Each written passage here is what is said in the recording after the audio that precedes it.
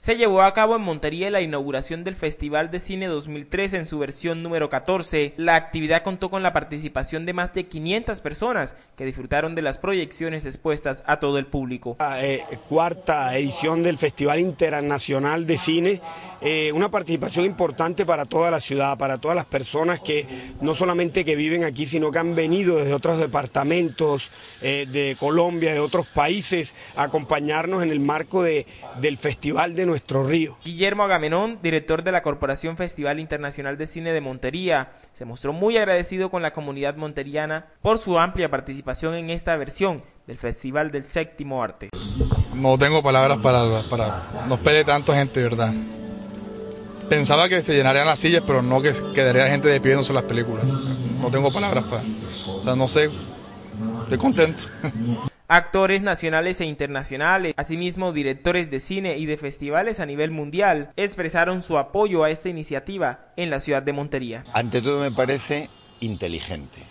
¿Por qué inteligente? Porque el cine sin duda es cultura, pero además es cultura a un nivel que tiene un acceso muy fácil a la gente.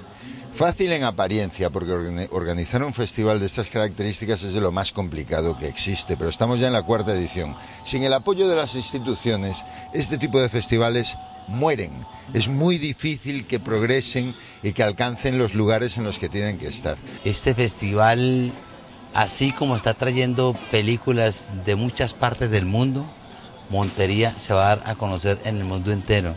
Porque estos festivales yo con la experiencia que tengo me he dado cuenta cómo el cine lleva las ciudades al mundo entero, cómo el arte y la literatura, todos estos eh, lenguajes que allí confluyen en el cine, abren caminos a una ciudad, en este caso como Montería. A estos festivales regionales que tienen una característica muy particular porque son regionales pero al mismo tiempo son de una cobertura internacional pues son festivales en donde se está gestando, cuajando e institucionalizando eh, una actividad que es definitiva porque estos eventos marcan el desarrollo no solo del cine internacional confrontándose con el cine nuestro, sino que además marcan el desarrollo precisamente de la producción cinematográfica en una región como, como Córdoba.